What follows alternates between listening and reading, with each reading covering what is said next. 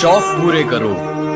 ज़िंदगी तो एक दिन खुद पूरी हो जाएगी।